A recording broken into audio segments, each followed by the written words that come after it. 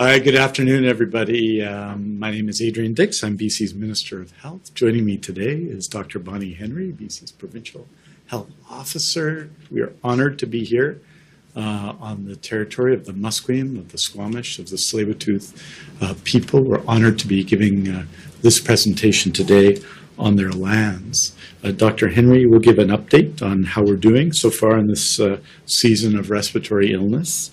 And uh, so Dr. Henry will be speaking first, and then I will come up and give an update on uh, issues around health system capacity, number of people in hospital, and so on. And with that, it's my honor for the first time in 2023 to introduce Dr. Henry. Thank you very much, and good afternoon. Um, it is a pleasure to be with you here today. Um, I also just want to recognize that uh, today is a day that people are are celebrating Black Shirt Day, or um, in honor of the birthday of Martin Luther King on January fifteenth. And as I was thinking about this and thinking about the impact that this pandemic has had on racialized populations, I thought a lot about some of the the wise words that Martin Luther King spoke. And one of the things he said is that darkness cannot drive out darkness, only light can do that.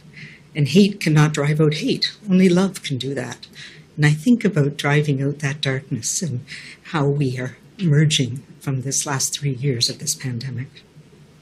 So today I'm going to give an update on where we are in this respiratory season and to address some of the emerging issues and questions that have come up in the last few weeks particularly around the new subvariants of Omicron, which I know many people are worried about, concerns around surges in other parts of the globe, and particularly China, and the impacts we are seeing of COVID, but also importantly, as we've seen through this last few months, RSV and influenza, and many other respiratory viruses that are causing illness, and as we've seen over this last month, um, some of the gastrointestinal viruses, especially norovirus, which we call winter vomiting disease, which I'm sure some people in this room have experienced in this last few weeks as well.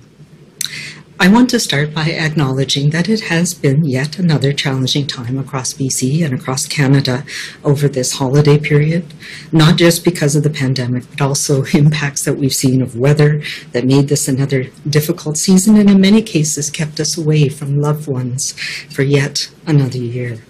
But I also want to thank everyone here in British Columbia who took the precautions that we needed to take over the holidays to keep themselves, their loved ones, and their community safe.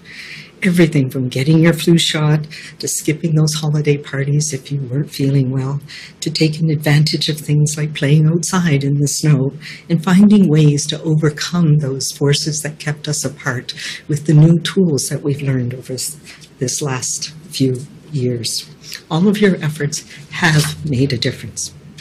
In particular, I want to thank all of those who answered our call in November and, December and took time out of their busy holiday schedules to get vaccinated, both for COVID and that all important bivalent booster, and also for influenza. This has made a tremendous difference at ensuring we could manage and protecting those around us as well as ourselves. So many people in BC came together to support our healthcare system. We know that this pandemic has exposed the long term strains on our healthcare system and on the people working within it. I, of course, I know that many people unfortunately did get sick over the holidays, which put a damper on many of our plans. But we found ways to celebrate regardless, in ways that we have learned in this past three years. In addition to many different respiratory viruses over this last few weeks, we've also seen a bit of norovirus, um, which has started to cause impacts both in our communities but also in some of our healthcare settings. And while we're out of the holiday season, we're still very much in respiratory season. So today I'm going to give an update on where we're at with that, what we're seeing, and what uh, a look ahead at what may happen in the coming weeks. To understand where we're at with all of these respiratory viruses, we in public health have many different sources of data that we look at, sometimes daily, but also weekly, and we post many of these on the BC CDC website. And it is having these many sources of data that fill in this full picture. So no one thing tells us the whole story. It, it is um, all of these measures together that help us understand are things going up or down? Where are we seeing the pressure points in certain parts of the provinces? Um, what are we seeing with different things? So I'm going to talk a little bit about each of these different measures one of the most important ones. We continue, people continue to be tested for COVID 19. And in our laboratories now, when somebody gets a test for COVID because of respiratory illness, we also test for RSV, for influenza A, influenza B, and parainfluenza. We have one test that can do all of those. And about a thousand people a day on average have been getting a PCR test because they have a respiratory illness and they are either in the emergency department, a clinic, a doctor sends them to the lab. And as I mentioned, we do these multiplex PCR tests so we can see what proportion test positive for these different respiratory viruses. That's one of the things that helps us understand what's causing illness across the province. So these are what we call medically necessary tests. We don't just test everybody. We test you when you need to have a test because it makes a difference for your medical treatment. So these are people who have serious enough illness that they seek medical attention, or people at risk of more severe illness from either COVID or influenza and are eligible for treatments, things like Paxlovid or uh, oseltamivir for influenza. A second most uh, more important, uh, other important source of information is data on people in hospital, in ICU. And we have that data for COVID. It's taken a long time to get that. That's not something that we historically had for every other um, respiratory virus, but we've now added this year uh, more information on people in hospital with influenza, with RSV as well. And that gives us a sense of is this going up or down? What, what is causing most severe illness that's leading people to be in hospital or in ICU?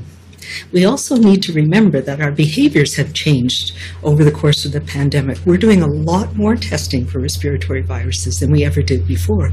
So we can't compare necessarily to influenza seasons and RSV seasons that we had prior to this pandemic. A third a source of data that we monitor, that we put in place uh, to help us understand this puzzle is outbreaks. So we look at outbreaks that are in healthcare facilities, including acute care, uh, facilities and long-term care homes, and those again are reported uh, from different parts of the province, and that helps us understand spread in communities and impact on, on these most vulnerable settings. We also have a well-established what we call Sentinel Provider Surveillance Network, and so the SPSN that's been uh, started at uh, the BC CDC uh, way back in the early 2000s, and it is a way of, uh, that we've been using to help us understand people who go to see a physician or a nurse practitioner for an influenza-like illness, and so we follow physician billings for that, and that's on the BC CDC website. That's that respiratory illness, and those people who participate in this, they do a swab on somebody who they think has influenza or COVID or RSV, and we test those in the lab for all of those pathogens, and we do whole genome sequencing on those. So I'll talk about that in a minute. So that's really important. That's been around for many years. That gives us a sense of when influenza-like illness, we call it, is in different parts of the province, so we can break it down by health authority and geography as well so along with these sources of, of, data, we've expanded the, the work that we've done with whole genome sequencing, which is kind of new and exciting. And we had the expertise at the BC CDC, and you saw very early on in this pandemic, we were doing samples that helped us understand where um, the viruses were coming from, where COVID was coming from, because we could link them by the genetic code. We've expanded that program, and the Public Health Lab at BC CDC has is now testing um, all of the, the cases that we get from uh, uh, for people in hospital with COVID. We're doing whole genome sequencing on samples of uh, people who have tests in the community from outbreaks. And this really gives us a sense of what strains we're seeing in BC and if they've changed this is something that's new globally. We've never actually had this ability to watch a virus change in almost real time. And, and that has led to some of the, the issues that we have about what's the meaning of new subvariants. And I'll talk a bit about that in a minute.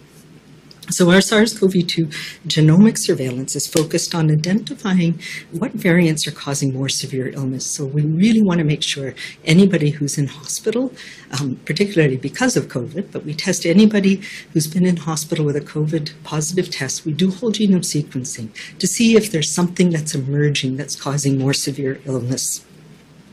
And we also do it on uh, community PCR tests, and I said, and the tests from the, our Sentinel provider network. And along with this, we have the, the wastewater surveillance that we've started way back in 2020, and that was built on a platform of, of some work that was done with some of the key experts at the BC CDC prior to the pandemic. And we've been able to use that expertise to look at variants in different areas of the province um, the, that's been in place, as we know, in the lower mainland. And that again is posted on the dashboard on BC CDC to help us understand, regardless of who's being tested, how much virus is out there. And not only that, but we now can do whole genome sequencing on those viruses that come from the wastewater surveillance plants. And that tells us, is there different strains in different parts or different variants in different parts of the province? Um, we've recently added, just over the fall, additional testing sites in interior health and island health, and those data are being validated. It takes time to develop, you know, the understanding of the nuances of the different systems, and they will be publicly available when they've been stabilized and validated, and I think that's likely to be sometime in February. We're also really interestingly in BC, because we have this expertise in whole genome sequencing and the, the techniques of, of uh, looking at wastewater, we're working to validate whole genome sequencing for influenza A and B and RSV in wastewater, something that's novel, it's not been done around the country or around the world. So this will be something that will give us a sense in the future of what types of influenza we're seeing and where the burden of that is. And really interesting, we have very little information on RSV in the past. So we're, we're um, able to, we should be able to look at that too. As you also may know, the Public Health Agency of Canada has expanded its wastewater surveillance and to include uh, YVR, and we're partnering with them to do that. It's something that we've been wanting to do for some time, not just on flights from China, which you know helps us understand what strains are circulating there, but from other places in the world too. And I think this will be another piece that we can add to those things that we look at to help us understand what's happening and what, how it's changing over time. So, like I said, it's like putting together a puzzle, and all the different pieces form part of the picture. So, what is it telling us? And the short, the good news is it's telling us that influenza continues to decline following this very strong early peak that we saw in November and December. RSV has um, continued to stay high. It's now at where we would expect it to see this time of year, um, and it's leveling off. And COVID has remained relatively stable the past several months, and I'll just talk about these in a little bit more detail. For, so in terms of, in, uh, influenza, our data indicate from these various different sources that influenza in all age groups has steadily declined from the peak where we saw about uh, 27% test positivity in, in late November um, down to we're about 5% now. So of all those tests that are done, about 5% of them are positive for uh, influenza. This has been a very unusual year. So it is very important to recognize that we can't necessarily compare this year to previous influenza seasons prior to the pandemic. We knew, and we talked about this in September and October, that we saw a very similar, unusual pattern in Australia and New Zealand during their influenza season um, last their last winter. Um, and we knew that this was a possibility, and that was one of the things that we were planning for. And I know the minister will talk about impacts on the health system. Um, so we did see that very rapid increase. Um, and thanks to many people getting vaccinated and what we did, we've started to see um, uh, decreases across age groups, and particularly in children who've been affected by influenza, as we know, leading to hospitalization in many, many children. And we, we know now that this is largely because there is a whole cohort, several cohorts of children who were never exposed to influenza because of all the measures we had in place, and particularly the, the restrictions on travel globally. Influenza didn't spread through the first two years of the pandemic. So there's people whose immune system haven't developed that protection that they needed. Um, the other thing that I think is important is that influenza A, H3N2, is the one that's been causing most illness and the one that's thankfully decreasing. And, you know, that is the, the strain of influenza that we see that most likely causes severe illness, particularly in children who've never been exposed to it before and in older people. And we also know that there are other strains of influenza, and we often see later in the season that we'll see another wave of, of influenza B. So we're watching for that. And uh, so far, we've not seen a lot of it, but it does tend to happen later in the season, and it, it tends not to be as severe because most of us have had had some exposure to influenza B at some point in our lives, and it doesn't change as quickly as influenza A. Um, the other, uh, so we're continuing to monitor for that. Um, we have, as you know, put in active surveillance to look for severe illness in children after uh, the pediatricians, particularly at Children's Hospital, raised the alarm with us that they were concerned that they were hearing about um, very severe illness and deaths in children um, in, in early December. And we have not seen any additional deaths um, uh, in uh, beyond the, the six that were initially reported that we uh, linked to influenza early on in the season. So that's important and thankful. So um, the other thing that I do want to mention is because we had such an early rapid season, uh, our Sentinel Physicians uh, Practitioner Surveillance Network, we were able to do some vaccine effectiveness on that and uh, the work that uh, the BC CDC and Dr. Skowronski's team. And it showed that early estimates show that the protection from the vaccine that we have right now reduces your chances of needing to see a physician or a nurse practitioner for influenza, cuts that risk by at least half. So so that's the good news. And for those who've not yet been vaccinated, it's still um, it's still available and important to do that. In terms of RSV, respiratory syncytial virus, while we are seeing a decrease in influenza, RSV remains relatively high, although it is also leveling off and is causing less illness in children, which is also important and good news. And it's about where we would expect it to be at this time of year prior to the pandemic. So RSV is another one of those respiratory viruses that when we stopped travel and we stopped gatherings and we had all of those measures in place, it didn't circulate very easily either. And now we're going back to a more normal season. And, and unfortunately for us, the start of RSV um, was at around the same time that we were seeing this, this unusual and dramatic spike in influenza as well. So children who would normally have been exposed over the last two years weren't. And so they didn't have that immunity. And what we're seeing is it's, a, again, a cohort effect where there were many more children and slightly older children who were susceptible. And of course, as it started early on, and we know that that made a tremendous impact, particularly on children's hospitals. And just to remind people that the emergency departments are still busy and they have put in place measures to make sure that we can um, quickly and effectively triage children. And if you need, uh, if your child is ill and needs to be seen, don't be afraid to go to the emergency department. But also know that your child's illness can be treated by a doctor's office, a walk-in clinic, the urgent primary care centers, or if uh, you need immediate uh, medical advice, you can contact HealthLink at 811. And so finally, COVID is the other major one that's been added to the respiratory viruses that we are likely to see, at least for the next number of years. And COVID 19 has remained relatively stable over the last three months. Hospitalizations increased a bit at the same time that we were seeing hospitalizations for influenza and RSV increase in December, but are now slowly coming back down. And we look at, again at the many different sources of information, and particularly things like the wastewater surveillance, which is not dependent on testing, and it shows a slowing and a decrease um, across much of the lower mainland, which is in keeping with the same thing we're seeing in visits to clinics, in long term care outbreaks, and in the testing data that we have. So, all of these pieces together tell us that we're slowly decreasing um, the same thing across time. And really, uh, this is, is thanks to um, people stepping up and being vaccinated.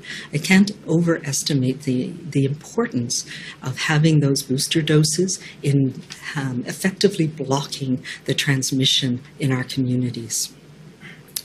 I want to, and along with that, I want to talk a minute about uh, uh, the XBB 1.5 variant because it's been on a lot of people's minds over the last few weeks.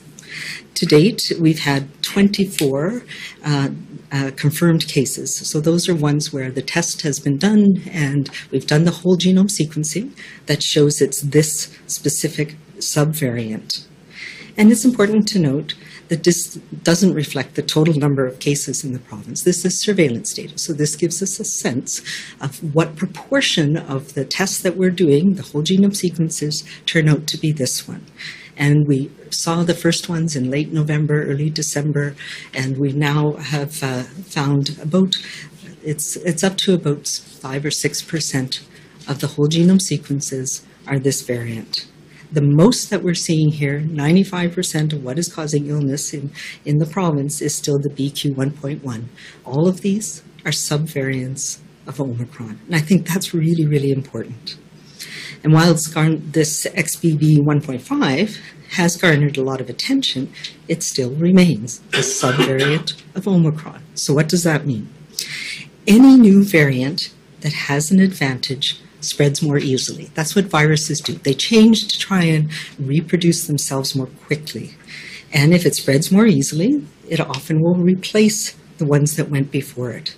So each new one that spreads, by definition, is the most infectious one to date. And we've seen that with um, XBB 1.5. So why does it take off in some places and not in others? A lot of it has to do with the defenses that we have in our community. And importantly, there is no evidence that this subvariant is causing more severe illness. And there's very good evidence that our vaccines are still providing strong protection from serious illness and death, especially if you've had the bivalent booster that has that Omicron uh, antigen in it. So if you have not yet had that, then you need to get it. So we must remember that these new strains may make us more vulnerable to infection, but they don't render us defenseless. The defenses we have built through immunization and combinations of vaccine immunity and infection induced immunity means we have strong defenses as a community across this province. We are no longer in the place where we needed to take extraordinary measures because everybody was susceptible and many, many people could get seriously ill, need hospital care, or die. And as we talked about, hospitalization due to COVID 19 is decreasing. And even though it is decreasing, we know our hospitals are stretched. It's not surprising this time of year. We traditionally experience an increase in hospitalizations in January um, as people access care after the holiday period. And it often coincides with an increase in respiratory illnesses. And usually, this is when we would start to see influenza really taking off as well. People delaying seeking treatment over the holidays because of the weather is one of the issues, or in challenges in accessing care. And again, of course, surgeries ramping up again after the holiday slowdown. And also, I will mention we've been seeing norovirus, so this gastrointestinal illness causing um, effects as well. So, as we get back into our regular activities following the holidays, it is important to continue to take measures to protect ourselves and others from respiratory viruses and other infections. First and foremost, getting vaccinated, getting that booster dose if you haven't already. These boosters make a difference. If you're feeling unwell, whether it's from a respiratory virus or fever and a rash or GI upset, nausea, vomiting, Stay home, stay away from others, and particularly avoid contact with people who are more vulnerable to severe illness themselves. It's so important, and I say this how many millions of times, to you know regularly wash your hands, practice proper respiratory etiquette, covering our coughs, properly disposing of tissues. We can also wear masks, especially in crowded indoor spaces when there's poor ventilation. You can wear masks for yourself for additional protection if you're somebody who is more at risk, and for others if you have mild symptoms of what could be a respiratory virus or are still recovering or have had contact with somebody at home who's ill. I know this remains a challenging time for people who are most vulnerable to COVID, especially, and these are the same people who are more at risk for severe illness from influenza and from other infections too. While we know we cannot stop all transmission of viruses, even with broad measures like masking all the time, and stopping gatherings and travel, and we know these measures have very important negative health impacts too. What we do know is that having the high rates of vaccination and hybrid immunity that we have protects everyone and uh, the analogy that somebody said to me the other day was, you know, would you rather be the only person vaccinated in your community or the only person unvaccinated and everybody else in your community is vaccinated? And that's an important thing to think about because all of us being vaccinated gives uh, added protection for those who don't have a strong response to vaccine, and it gives a buffer so the viruses can't spread as easily. What we do protects those around us. It makes it harder for the virus to spread. Not completely, not 100%, but definitely harder. And we've seen the impact of that. We know it's never going to be 100%. So we all need to be mindful of others who are more at risk, give them space, use the tools that we have, all of the tools that we have. Postpone non essential visits if we're not feeling well. Wear good fitting medical or N95 masks if you need that extra protection. Ensure people at high risk are able to access and wear masks too. And we have been very clear about ensuring that everybody has access to booster doses, to their flu shot, and to access to treatments for both COVID and influenza.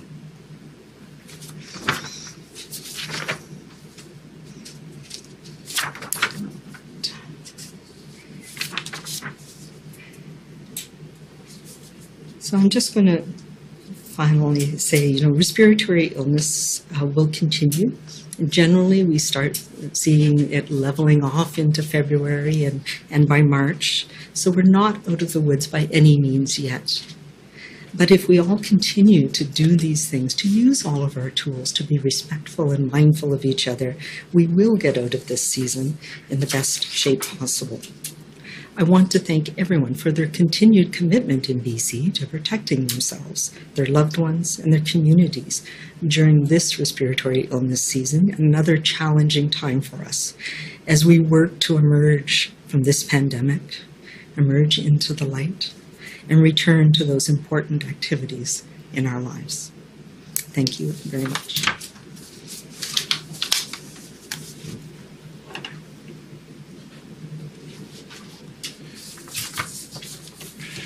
Thank you very much, uh, Dr. Henry. Um, and I wanted just to bring you an update uh, on uh, the emergency operations centers around the province and the uh, challenges we're facing in acute care and the very significant successes we're having with respect to uh, surgery in our province as well.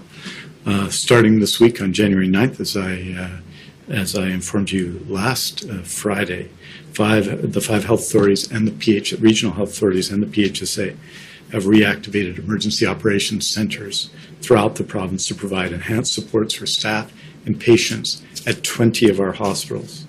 This proactive test step is taken to ensure patients continue to have access to the hospital care services they need in these challenging times of respiratory illness and other things facing our healthcare system. More people in a hospital reflects uh, obviously more people with severe illness in the community. Uh, the health authorities have already set up. Uh, we're already set up to launch into actions that will best meet the patients, needs of patients in their regions. Most of them have scheduled dedicated leadership teams as well as adding ICU physicians, hospitalists, patient care coordinators to be present seven days a week.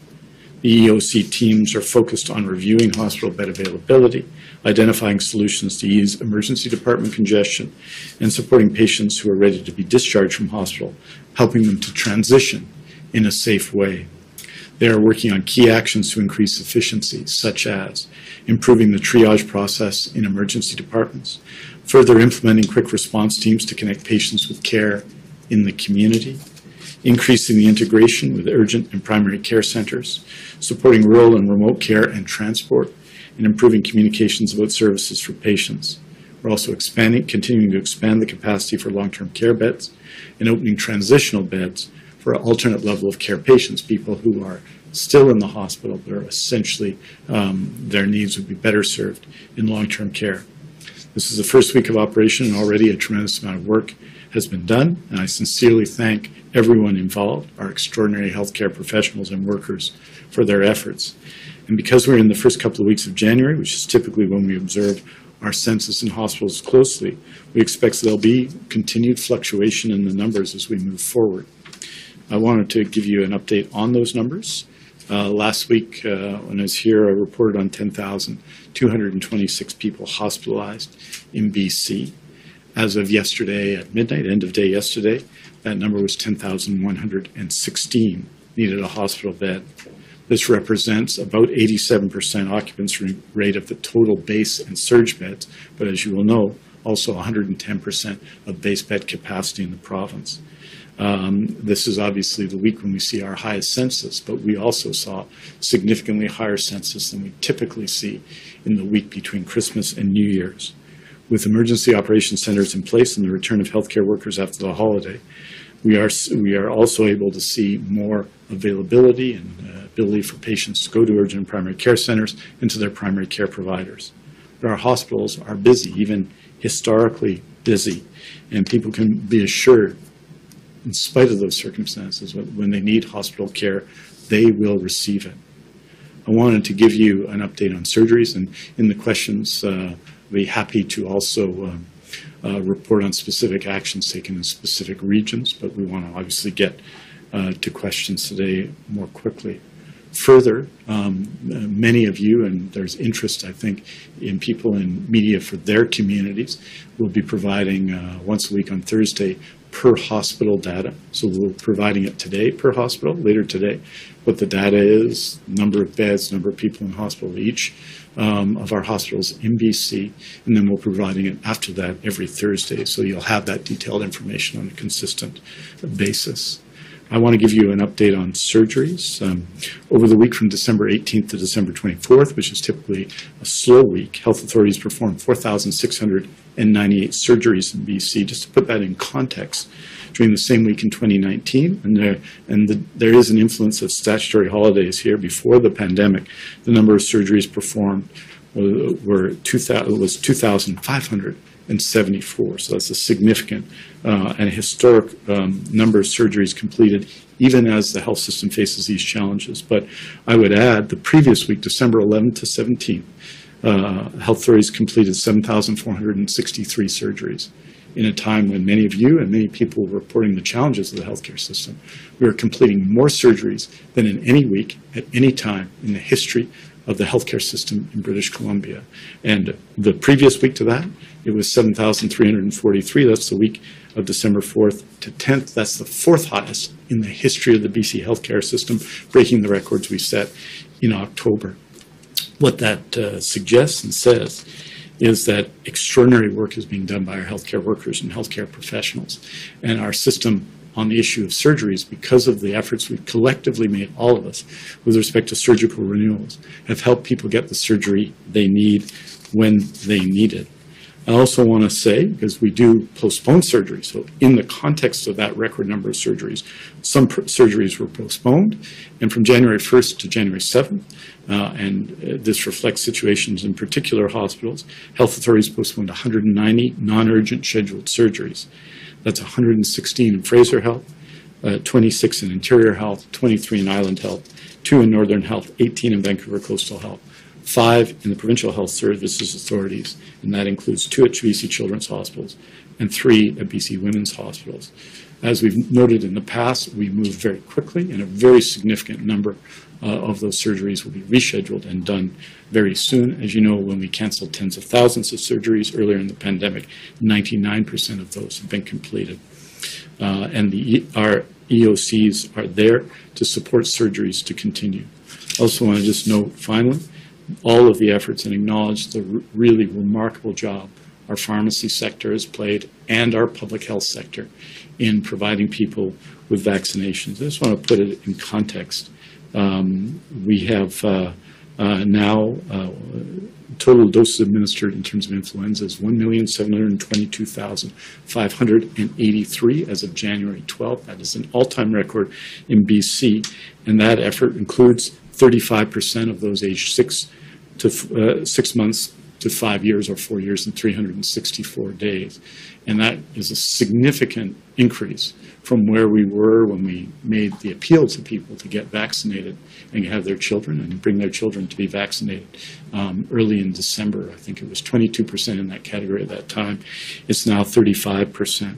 So this is a significant um, achievement. There are appointments available everywhere. I encourage people to continue to get vaccinated against influenza, continue to get vaccinated against COVID-19. But I want to particularly recognize the role of pharmacy in our fall campaigns as they've completed 2,287,000 vaccinations of COVID-19 at pharmacy, COVID-19 or influenza, which is an enormous contribution. Um, as uh, all of you know, because almost many of you here will have been vaccinated. We do those one at a time, so that's a real uh, achievement uh, for everyone in the healthcare system. We want to thank everybody. I think it's critical to, rem- to uh, remember in closing that all of us have continue to have a role to play, as Dr. Henry has said. It's important to stay home when we're sick, and that's why we have the first legislated sick days in our province. It's important to wash your hands frequently and get the, the booster you need uh, for COVID-19, uh, a flu shot as well when you're eligible. We need to keep doing what we know and keep doing what we know works.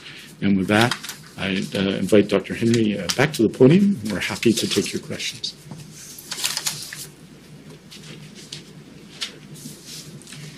Thank Through- you. After three years, we finally have a nice podium here. That's a nice photo, yeah. That's, that's, Thank you. As a reminder to reporters to the phone, uh, please press star, star one to enter the queue. You are limited to one question and one follow-up. Please also remember to take your phone off mute. You are not audible until your name is called. Our first question is from Katie DeRosa, Vancouver Sun. Hi, Minister. Uh, this is for Minister Dix. Thanks for taking my question. Um, I'm just asking, I want to ask about Bill 36 because some uh, physicians have expressed concerns about uh, what they say is government overreach. So uh, they've expressed concerns about uh, government having more access to their medical records or more power to mete out uh, more severe discipline against physicians. What do you say to these concerns? Uh, thanks very much for the, the question and the opportunity to, to respond on this question. Um, and I'll, I'll give a slightly longer answer, but if you want more, uh, Katie, I'm happy to give you a call later because uh, there'll be other questions as well, I know. Uh, Bill 36 um, is the first reform of the Health Professions Act in 30 years, considering um, the changes in healthcare in that time. It's a, it's a timely and important reform. It came out, out of uh, a very significant report done by uh, uh, an expert in the field, uh, Harry Cayton, that was done in response to concerns about um, certain health regulatory bodies, or one, the, the, dental profession, and how it was conducting certain aspects of its business, and a broader review of how we regulated um, health professions. We followed that up with an all-party process. In other words, uh, the Liberal health critic at the time, the Green Party health critic, and I reviewed the Cayton report and developed a series of recommendations which became uh, Bill 36. We had an extensive public consultation, one of the most extensive on legislation the province has ever seen. Thousands of participants, the majority of them health professionals, including, of course, many doctors, many others as well. The legislation does important things. It uh, takes a proactive approach to eliminating discrimination in BC's health uh, uh, system. The In Plain Sight report and the Reconciliation Act happened in the middle of our consultations around Bill 36. We improved governance. We've reduced the number of regulatory colleges so they all have the ability to, uh, I think, uh, do what they're required to do under the law e- more easily. Uh, when I became Minister of Health, there was a regulatory uh, college that had to support um, all of the activities of regulation with 87 providers. And so we are shifting that. It's our expectation there'll be six colleges at the end of this process. And more transparency and accountability, something the public had been asking for and many journalists, uh, such as yourself, had been asking for. In other words, not when there are complaints made, but when there are findings of misconduct, that those findings of misconduct be published and that is a reasonable step that was massively supported in our consultation. So I want to speak to a couple of the issues you raised that are uh, issues of concern uh, that have been raised in the last couple of days. Um, first, uh, it talks about um, that there's been concern about patient clinical records, that uh, somehow this will give somebody in government the chance to seize or copy a patient's clinical records. This is not true. It is false. Bill 36 does not allow the government to copy or seize clinical records. Only an independent investigator appointed by the independent reg- registrar at the request of the investigation committee can do so. When there's a complaint, for example, a complaint of abuse, you have to be able to review the evidence to, provide, to determine uh, the validity of that complaint. When a healthcare professional has a complaint against them and it has warranted an investigation, therefore it's a significant complaint, the investigator requires the ability to search records to act in the public interest, but is also subject to restraints on how that information can be used. Let me be very clear. This is no different than the circumstance in the present act. No different. Um, there has been concerns about um, uh, what patient, physicians, and other health professionals can say. Again, there are, with respect to putting forward false information, which sometimes happens, for example, false information about the effectiveness of certain um, of certain uh, remedies, there there is a requirement to be truthful and evidence based now. That is a professional requirement that all, well, and in particular physicians, uh, support and that will continue to be the case. This isn't about a critical, uh, this is about limiting critical or free speech. Uh, in fact, it's what uh, the legislation supports what we do now. You can't put out false information. And as a professional, and I, I don't think anybody really would be um, uh, concerned about that. F- finally, I just say with respect to um, the way we appoint people to regulatory colleges. So we've had uh, 22 regulatory colleges when I became Minister of Health. We've reduced that number, an amalgamated number. It's now 15. It will eventually uh, be six. Currently, at the discretion of the Minister of Health, um, the Minister of Health, in the case of myself, before it was uh, Terry Lake, um, would uh, appoint 50% of the board members. And the profession would elect at these 23 different colleges um, their board members from the profession. Now, the, these colleges do not represent the profession, they represent the public interest, so they regulate the profession. So the recommendation that was overwhelmingly supported in our consultation was to move to a merit-based system where you have the superintendent, who, uh, the superintendent making recommendations on people who are qualified to act on uh, health college boards. And that is the core of it. So it takes away discretion from the Minister of Health, as it goes through that process, and from the professions themselves who are being regulated by that process. This was overwhelmingly supported by all three political parties who took part, by uh, the vast majority, I think 92% of people who took part in our consultation, and that's what the Act reflects. And I think that um, there can always be criticism and always better ways to do things. We started this process in 2018. It's a five-year process, most significant consultation, uh, Indigenous consultation reflecting um, the requirements of the Reconciliation Act and the In Plain Sight report. massive consultation of health professional organizations, including all of the ones involved, reflected in the 22 existing colleges, a significant uh, um, consultation of the public, and a reflection of the views of many, including people in the media, about, about removing some of the opaque elements of the current act. I want to say to everybody, though, complaints don't get made public. It's only when determinations of misconduct are made that they should be made public, and they should be made public in every case. And that's uh, and that's the determination that's made, but that's after a lengthy process uh, where all sides have the opportunity to state their views. So that's uh, that's the bill. It's a significant bill.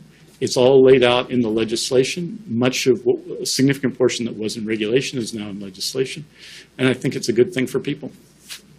Katie, do you have a follow up? Uh, yes, please. Uh, when you talk about the, the, the people appointed to the college, uh, the colleges, would they be people in the industry with knowledge of the of that particular profession, or would they be anyone? I, I, how do you select who's appointed? Uh, the expertise um, and is developed independently, so we appoint um, an oversight body to make sure because we had uh, 22 and now six with um, health regulatory bodies with too much variety in standards and so on. So uh, this will be a merit-based process, expertise in, in regulation and understanding of uh, regulation, how to deal with complaint process, and to ensure that uh, justice is brought to those processes, not just uh, for health professionals, but health professionals and patients. So uh, that's the reason we're doing it that way. Right now, um, we of course attempt to do that in and I think do a relatively uh, a very good job in doing that. But the discretion, for example, in this process, and the recommendations, and the fact that those are recommendations will be public, uh, and and right now half of the people are appointed directly by me, and while I make um, I think we've done a good job and I think previous ministers have done a good job in appointing really good people to those boards. This professionalizes that process. This happens frequently with boards everywhere, and I think uh, I think that's a good thing. Next question is from Richard Zussman, Global News. Uh, Dr. Henry, would you say that we are beyond the peak now of flu season, and what are the expectations moving forward in terms of what we can expect for flu and RSV and COVID. One of the things you mentioned when you were talking about masking mandates is, quote, there are very negative health impacts as well.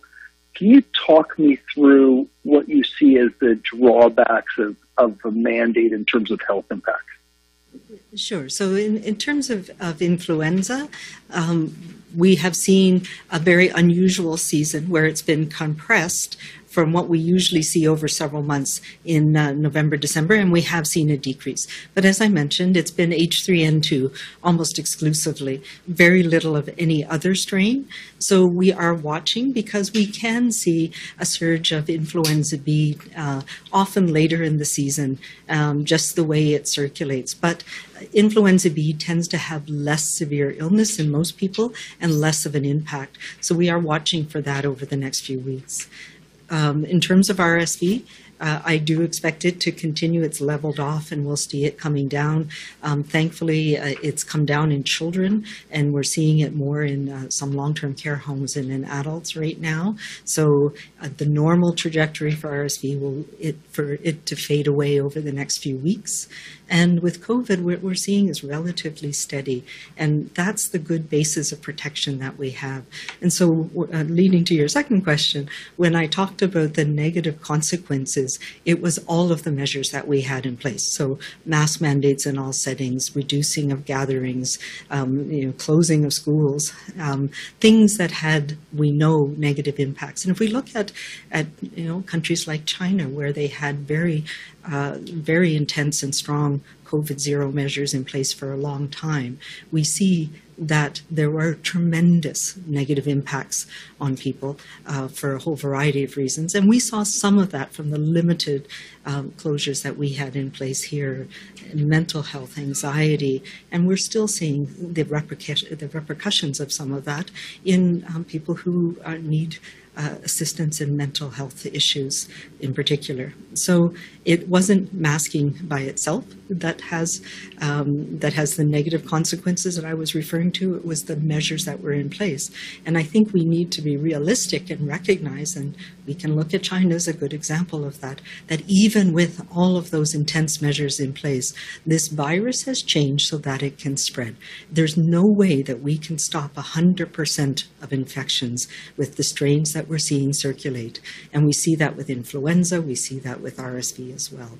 So we need to put it in the context that we are in now, where we have this very high level of protection um, because of the immunity that we have from vaccination, from previous infections, and the tools that we have that we can use in, in our individual way to fit them into our lives as we're getting back to doing the things that we need to do. And it, it is incredibly important for us to get together, to be together, to go to work, to have those gatherings. To we're, we're social creatures, and we know that there's important emotional, mental, physical health things that come with us being together. And so we need to to take what we have learned and put it in the context of what we're doing in our lives and our risk and do those risk assessments for ourselves and for the people around us. And that's what we need to do to get us through this respiratory season and we need to learn these things for the future as well. Did you have a follow up, Richard?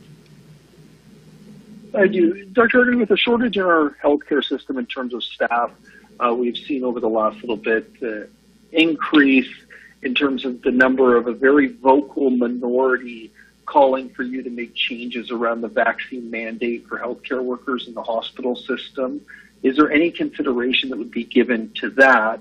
And, and to that point, is the requirement now two vaccinations of a COVID vaccine? And does that not offer, in essence, the same amount of protection at this point, considering that second shot could have been a year plus ago as being unvaccinated? Would there be a consideration given to ensure that those working in the healthcare system are up to date on their boosters uh, as well? So the, the short answer is is no. Uh, we're not uh, contemplating changes to the requirements of vaccination in our healthcare system.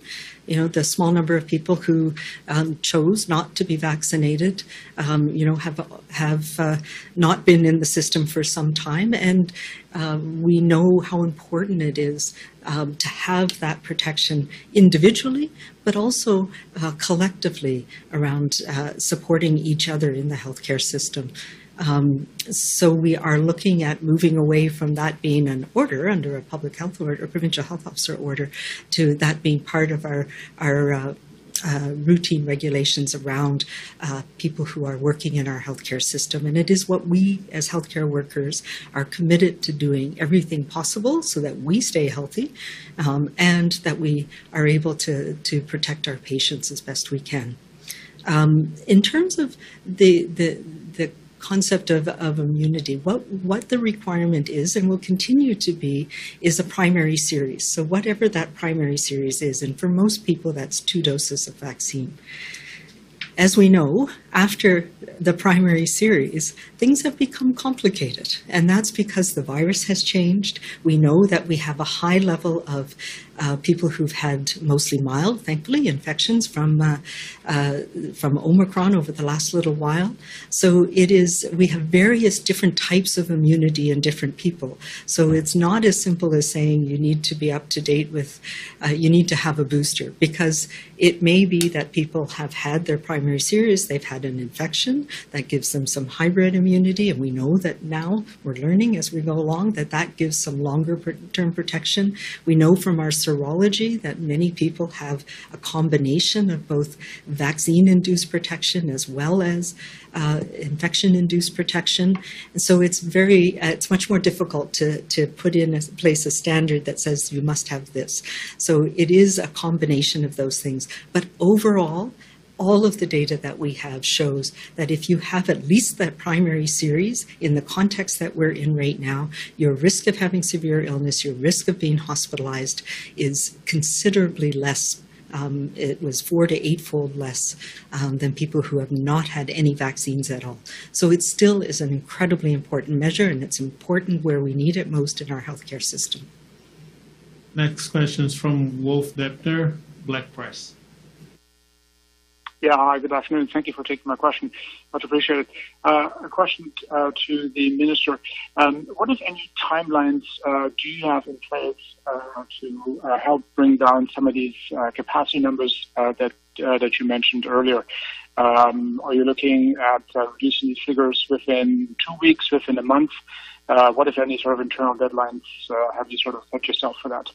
Well, the Emergency Operations Center will be in place for six weeks. Um, that doesn't mean it will take six weeks. Uh, we would hope to see fewer people in our census numbers in the hospital. But um, just be clear what we're trying to do. We're trying to ensure uh, that patient flow is there and supports are there for our healthcare workers, our healthcare teams of workers and professionals, and for patients to ensure that they get care at this critical moment. There's a lot of people in hospital. This is historically high level of people in our hospitals. That was true between Christmas and New Year's and compared to other seasons, and it's true now.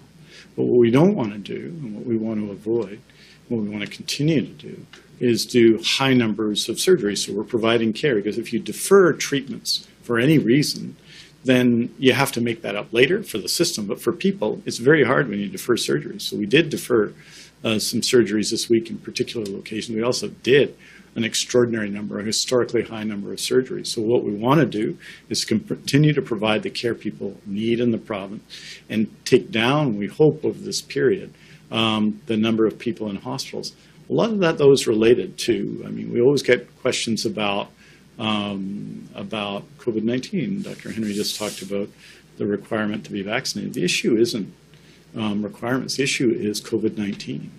The issue is respiratory illness. The issue is that there are a number of people who need care.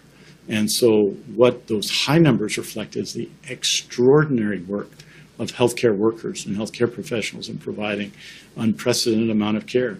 We're doing vastly more surgeries than ever before, I argue, vastly more diagnostic tests, more primary care visits, more, uh, treating more people in the hospital, treating more people in our ERs. And after three years of a pandemic, and it's getting on to three years now, our healthcare teams, in spite of the constant pressure that's existed, no high season and low season, just constant high season of pressure. There's been a lot of pressure on all of them. So we're trying to do everything we can in this period to deal that and support it. But the EOCs will be in place for six weeks. Wolf, did you have a follow-up? Uh, yes. Um, if the system is under such high pressure, as you say, um, why not uh, take, and you sort of touched on this uh, a little bit earlier, but why not take uh, more uh, more precautionary measures? Um, obviously, as we heard earlier, 100% um, transmission or pre- preventing 100% of transmission uh, is not possible. Uh, but why not aim for 90? Why uh, why make 100 100% the, the threshold when say 90% is available? Uh, any one uh, one could argue that, that any that any amount uh, could make a difference on the healthcare system if, if it is so strained. Yeah, so I think you have to put it in the context of where we are. So we do have the best um, protection that we have through vaccination. That level of immunity in our communities is that buffer that means that um, COVID is not causing any more severe illness than other respiratory infections. And so to try and, and um, incrementally reduce transmissions above that, we would have to take additional measures that would impact people's ability to do important things in their lives. So we would have to stop large groups, stop large gatherings, uh, reduce the numbers of people who get together, restrict travel, all of those things that have negative impacts on people's health as well. So there's no one simple thing. So everybody wearing masks is not going to make a tremendous difference in uh, the transmission of these viruses because we transmit them in those situations when we're at home, when with, with we're, we're, when we're with friends, when we're doing social things that are important in our lives where we don't wear masks, and it still allow these, allows these viruses to transmit. So the most important thing that we can do as a community, and people in BC have done this, is to get vaccinated to get that protection that gives that level of buffer the best that we can do. And then to each of us take our own responsibility for um, protecting others, if we're staying away from others if we're sick, if we are having mild symptoms, you know, we need to be around others, wear a mask. Um, and those of us who are most at risk, we can do extra protections ourselves by avoiding going to certain situations if we can, um, by wearing a, a well fitting mask or respirator if we have to be in those more risky situations. And this is, this is how we managed respiratory before. And now COVID is added to that. It's another virus that we have to deal with. And we are in a very different situation. Um, and, you know, it, it would be nice, it would be really nice if there was just one simple measure that was going to make that difference. But it's not. It's all that collective things that we are doing and continue to do and need to continue to do together. Next in the line is Liza Yuzda, CityNews 1130. Hi, I'm wondering if we can expect next year to be an easier season of respiratory illness. Like, does the um, the, the rough year this year and kids catching up on catching these illnesses does that portend of an easier one next year? Or does it take a while for that community, um, I guess, exposure to to gain again? I wish I could answer that question. One thing that I've learned in the face of uh, in the face of SARS-CoV-2 is, is humility because it changes. Um, however, you know we have been relatively uh, looking at the tea leaves and watching what's happened over the last few months. Things have uh, have progressed as we kind of thought they would, and we're sort of seeing uh, less and less variation and, and, severity of illness. So we need to keep watching for that. And yes, um, I expect that there will be some impact of the fact that uh, so many more children were exposed to RSV, so many more people were exposed to, to influenza. But then again, influenza likes to change too. So I can't really say. Uh, I will say that we're watching around the world. We'll be watching what happens in Australia, New Zealand this year. Um, but we do know that the most single most important thing that we can do is keep our immunity up by getting boosters when we need to, by getting our flu shot every year. And so um, I think we just need to keep on watching and, and we'll see what happens in the next little while. Liza, did you have a follow up? I do. And just over the next, I guess, four or five weeks when the EOCs are going to be open, but over the next four or five weeks, what are your biggest what is the biggest concern? Is it one virus more than another? Is it overall? I'm just wondering what the biggest worry is. You know, I think it's not one virus over the other. I think we need to pay attention to all of them. Um, and as I was talking about today, you know, there's these many different things that we watch over time to see if things are going up or down or staying the same. And, and then we add in that whole genome sequencing to see if there's something new or different. And um, every time there's something new or different, we have new technology that allows us to, to say things about it. And so, you know, one of the reasons why there's such a, a concern about the uh, the the uh, the the, uh, um, the what am I trying to say? The the new variants is that uh, you know we do things like neutralizing antibodies, and they're really easy to do. And people say, "Oh, it's more transmissible; it binds stronger."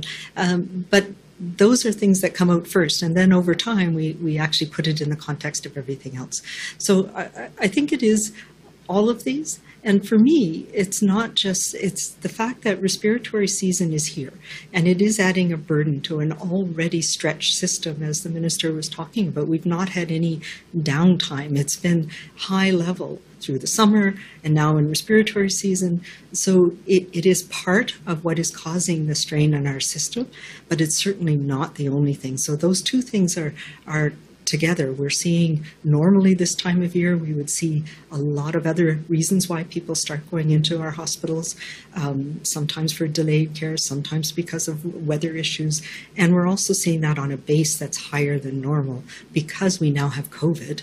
We now have a new virus that's added to our repertoire that we're going to have to deal with for the next uh, foreseeable future. Next question is Brishti Basu, Capital Daily. Hi, thank you for taking my question. Um, Dr. Henry, you mentioned there's been a surge in norovirus and gastrointestinal issues in, in BC. Um, given studies that show that gastrointestinal problems can be symptoms of COVID, are people showing up with GI issues at hospitals being tested for COVID? Yes, although the th- things that we see for, for COVID tend to be quite different. Norovirus is a very particular problem, and people are being tested for it, and it spreads very rapidly for anybody who's had the experience of it. So, the, the clinical pattern of what we see with uh, norovirus, for example, is quite different from what uh, from some of the um, GI symptoms that can present uh, with SARS-CoV-2 as well. So, the, the short answer is that they look different, and they're tested uh, differently as well. Brishti, did you have a follow-up? Yes, thank you. Um, Minister Dix, can you uh, share how many surgeries were postponed between January 7th and 11th across BC and also specifically in Island Health? Um, and is, is postponing surgeries the reason why hospital occupancies dropped by over 200 over the past week?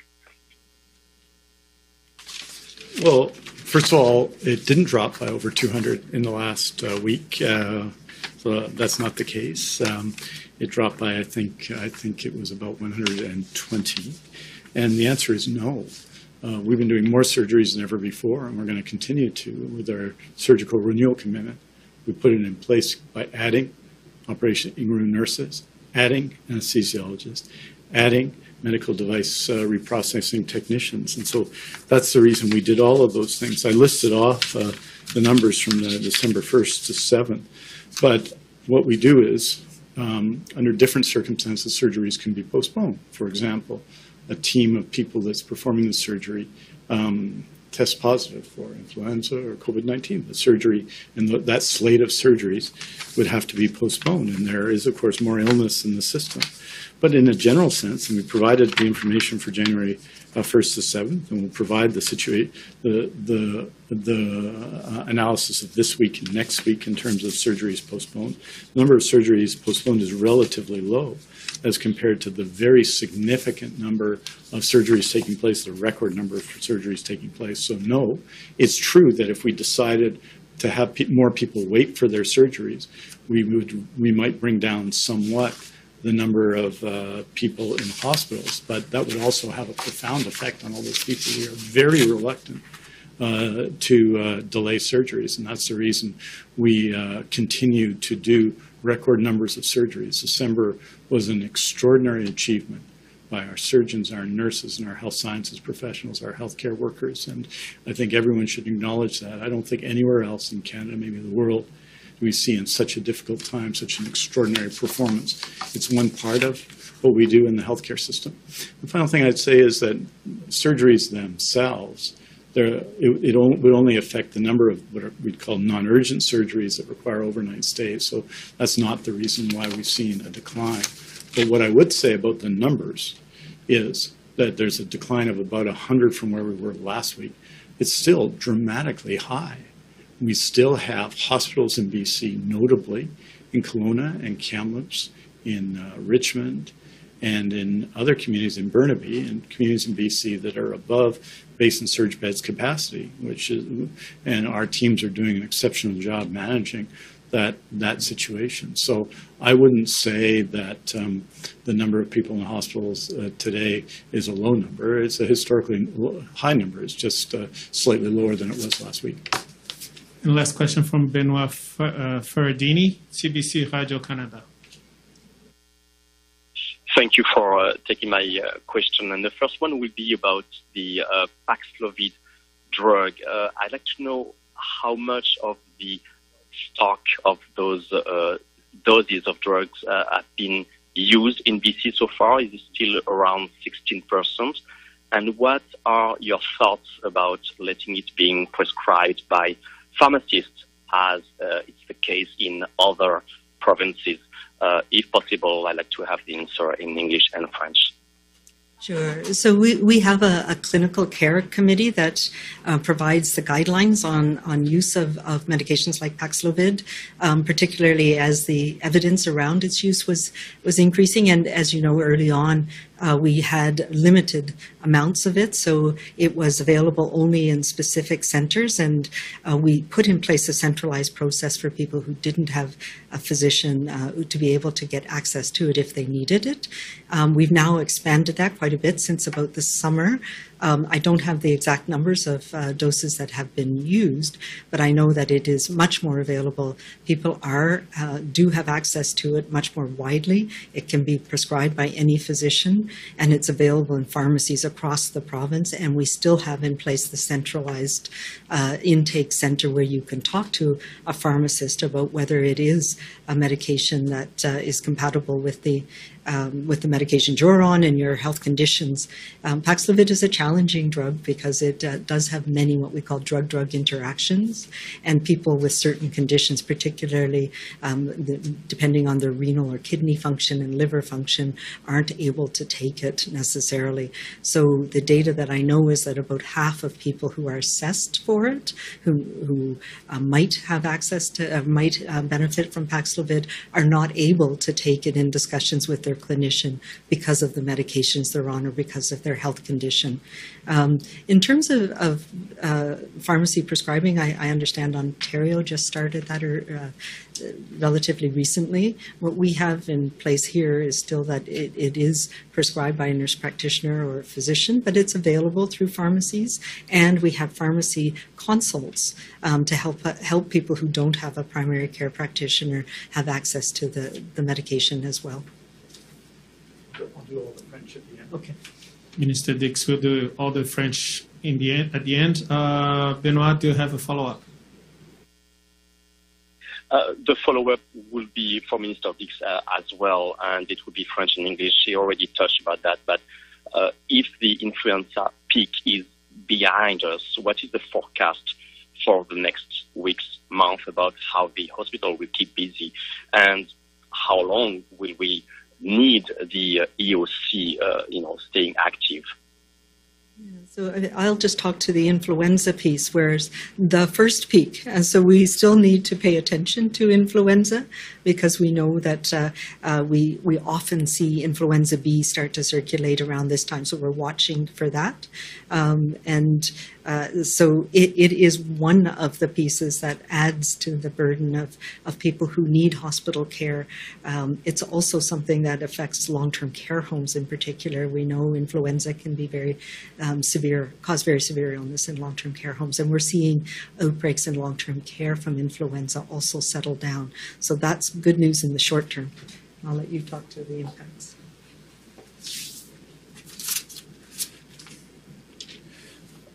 And and it's just say in English, just because it's it's uh, it may have reached its peak, and we'll see. I mean, we we um, we learn about these circumstances every day. is still significant in the system. I mean, um, I think people would understand that even if it's, well, say 374 last week and it's 320 or something this week, 320 is still a significant number. Equally, for RSV, uh, influenza has gone down in the system. So um, you asked how long the EOCs will be in place, six weeks.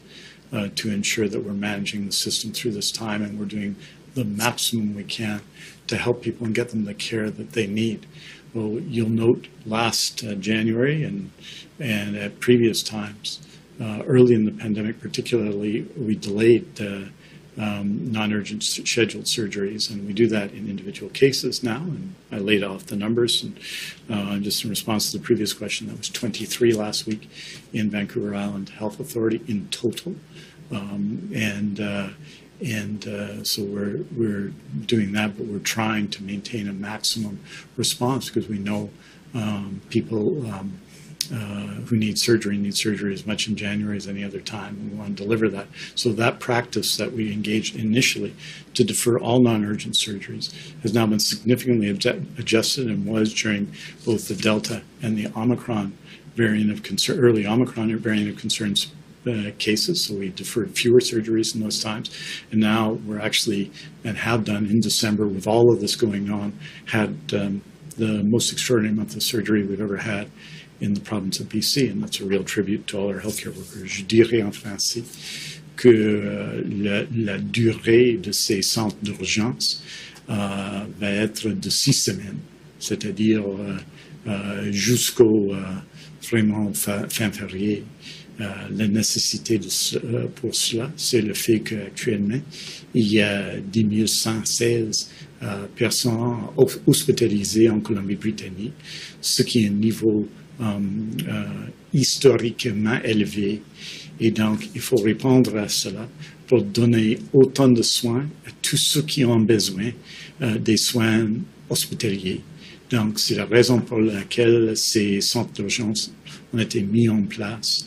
Le fait qu'il y a peut-être moins de la grippe actuellement, actuellement qu'il y, en avait au mois de décembre euh, n'indique pas pour autant qu'il n'y a pas des, exigences. Il y a des exigences extraordinaires dans le système et c'est pour cette raison qu'on a à répondre de cette façon.